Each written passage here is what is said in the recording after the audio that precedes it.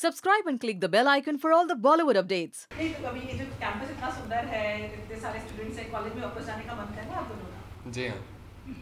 मैं कॉलेज कभी नहीं गई। तो पहली बार जाने का मज़ा आ रहा है। लेकिन पहली बार है जी देखे पहली लेकिन इसमें कोई खराबी नहीं है मुझे लगता है कि आप चाहे प्रोफेशनल एक्टर बन जाएँ लेकिन सीखना हमेशा चाहिए।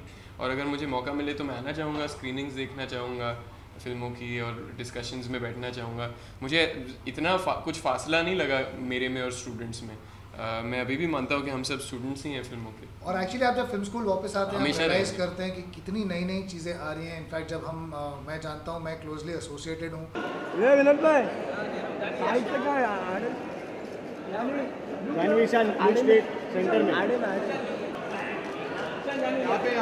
में। सेंटर में सेंटर में वाला फ़िल्म सेंटर जानवी लुके जानवी